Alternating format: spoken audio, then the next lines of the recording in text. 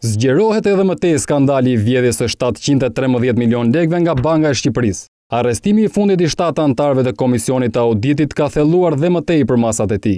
Të dhëna nga grupi hetimor bëjnë me dije të tjera fakte interesante mbi mënyrën e vjedhjes nga Ardian Bitraj. Ish-shefi i Zyrës së Parave Stok merrte nga kolitë me para në thesarin e shtetit vetëm prerje pesë mijë lekëshe.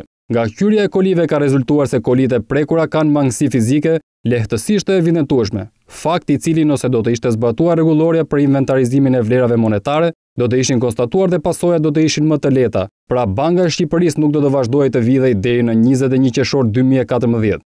Verifikimi me përzgjedhje jo më pak se pesë për qind e tyre Kryhej duke hapur kolitë dhe verifikuar në brendësi të gjitha pakot dhe macetat, ndërsa për kolitë, verifikimi duhet të kryhej për të gjitha një e nga një. Krahas tyre, deri më sot në pranga janë vendosur dhjetë persona, të cilët akuzohen se me veprimet dhe mosveprimet e tyre kanë ndihmuar në vjedhjen spektakolare. Të arrestuarit janë përgjegjës të Zyrës së Stokut, të Departamentit të Emisionit dhe vëzhgues operatorë, pranë Departamentit të Sigurimit dhe Mbrojtjes. Vetëm për Ardian Bitrajn përgjegjës i Zyrës së Stokut është ngritur akuza për vjedhje me anë të shpërdorimit të detyrës. Para grupit të hetimit ai ka deklaruar se shtatëqind e trembëdhjetë milionë lekët i ka lënë duke luajtur kazino.